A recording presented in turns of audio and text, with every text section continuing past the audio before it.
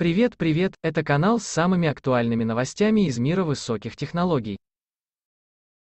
Астрономы США нашли новые доказательства существования гипотетической девятой планеты в Солнечной системе.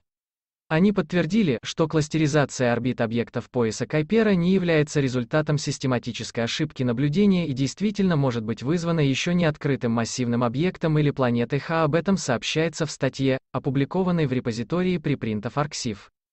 Авторы новой работы приняли во внимание возможность предвзятых данных, но даже в этом случае кластеризация орбит является статистически необычной.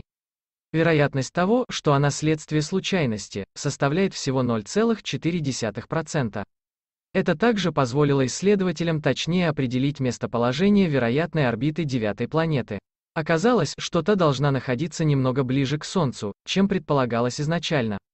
И если планета существует, она должна быть обнаружена с помощью обсерватории имени Вера Рубин, которая будет введена в эксплуатацию в 2022 году.